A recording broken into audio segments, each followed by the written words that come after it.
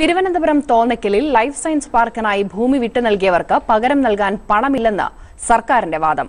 പത്ത് വർഷത്തിനിടെ എത്തിയ മൂന്ന് സർക്കാരുകളും ഫണ്ട് അനുവദിക്കാത്തതും തിരിച്ചടിയായി. പ്രദേശത്തെ ജനപ്രതിനിധികൾ കൈയൊഴിഞ്ഞെന്നും നാട്ടുകാർ ആക്ഷേപിക്കുന്നു. സർക്കാർ ഏറ്റെടുത്ത സ്വന്തം ഭൂമിയുടെ വില കിട്ടാൻ മന്ത്രിമാരെയും എം എൽ എമാരെയും കാണാനെടുത്ത പാസുകളുടെ കൂമ്പാരമാണ് നാട്ടുകാർ ഉയർത്തിക്കാട്ടുന്നത്. രണ്ടായിരത്തി എട്ടിൽ വി എസ് സർക്കാരിന്റെ അവസാന സമയം മുതൽ പിണറായി സർക്കാരിന്റെ ഒന്നാം വർഷം വരെ ഇവർ കാണാത്ത ഉദ്യോഗസ്ഥരും മന്ത്രിമാരുമില്ല. അച്യുതാനന്ദന്റെ സമയത്താണ് ഇത് നോട്ടിഫിക്കേഷൻ നടന്നത്. അതിനുശേഷം ഉമ്മൻചാണ്ടി വന്നു. അദ്ദേഹത്തെ സന്ദർശിച്ചതിന് കയ്യും കണക്കുമില്ല.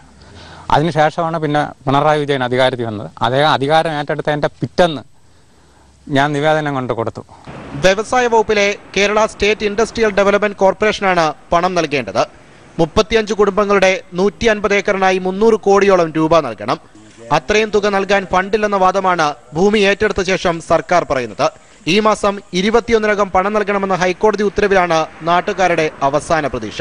അത് കിട്ടിയില്ലെങ്കിൽ അതിന്റെ മാർഗം എന്ന് പറഞ്ഞാൽ ഞങ്ങൾ എല്ലാവരും കൂടെ ഈ കുടുംബക്കാരെല്ലാം കൂടെ ഒന്നീ വ്യവസായ മന്ത്രിയുടെ അടുത്തോ മുഖ്യമന്ത്രിയുടെ ഓഫീസിലോ വീട്ടിലോ എവിടെയെങ്കിലും പോയി സത്യാഗ്രഹം ഇരിക്കുക എന്നുള്ളതാണ് ഇനി ഉള്ള പോകുമ്പോൾ അല്ലാതെ ഞങ്ങൾക്ക് വേറെ മാർഗമില്ല സർക്കാരിന്റെ കയ്യിൽ പണമില്ലെങ്കിൽ ഏറ്റെടുത്ത ഭൂമിയെങ്കിലും തിരികെ നൽകണമെന്നാണ് നാട്ടുകാരുടെ ഏറ്റവും അവസാനത്തെ ആവശ്യം. തിരുവനന്തപുരം തോന്നക്കലിൽ നിന്ന് ക്യാമറമാൻ എസ് പ്രശാന്തിനൊപ്പം സി ജി അരുൺ സിംഗ് മനോരമ